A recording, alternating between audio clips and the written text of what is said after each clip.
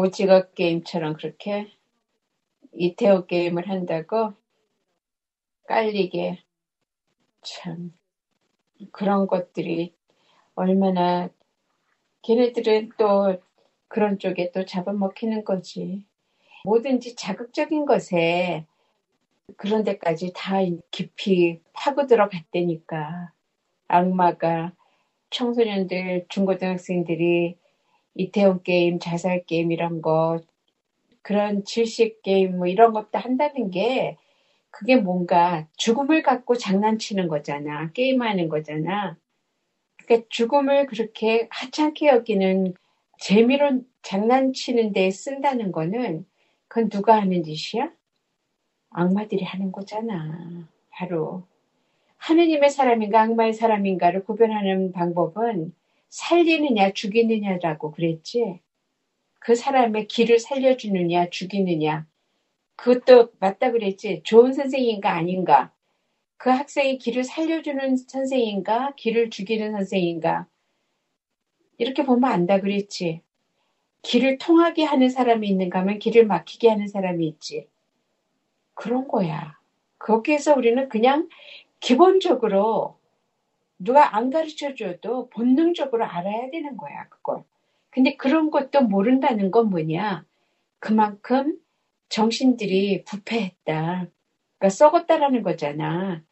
뭐에 의해서 이 기성 사회가 저 정치권 저렇게 위에서 기득권들이 마구 살잖아. 그런 걸로 표본을 보여주잖아. 그러니까 이런 사회 현상이 나쁜 현상들이 일어나는 것이 젊은 아이들의 생각을 바꾸는 거야. 그리고 그게 자극적이니까 걔네들은 그게 순간적으로 도 재밌지. 안 그래도 공부하기 싫고 짜증나고 어쩔 줄 모르겠던 판국에 뭔가 재미난 거 없나 이럴 때에 유혹에 빠지는 거지 그런 식으로. 그게 짜릿하거든. 죽음 놀이가. 그러다 보면은 살인자들도 되는 거야. 자기도 모르게. 그걸 노리는 게 그게 악마들이 그렇게 판을 깔고 있는 거거든. 결국은 악마들은 뭐야? 인간을 죽이기 위해서 존재하는 거거든. 그 영혼을 걷어가기 위해서 하느님한테를 못 돌아가고 그 영혼을 자기네들이 차지하려고 그게 악마들의 지금 목적이라고. 그러니까 조심해야 돼, 진짜. 자식들 같은 사람들, 애들 정말 사랑해주고, 그런데 안 빠지게. 아주 순간적이야, 애들은. 왜냐, 호기심이 많거든. 그래도 젊은 아이들은 탄력성이 있어서 빠졌다가도 거기서 튕겨져 나올 수도 있는데, 거기에 젖어들어서 30대, 40대, 50대, 60대가 그렇게 빠져들었잖아. 못 빠져나와. 거기에서 허부적 허부적 그러고 그냥 살다가 가는 거야. 정신 바짝 차려야 돼. 젊을 때. 제일 위험할 때가 사춘기잖아.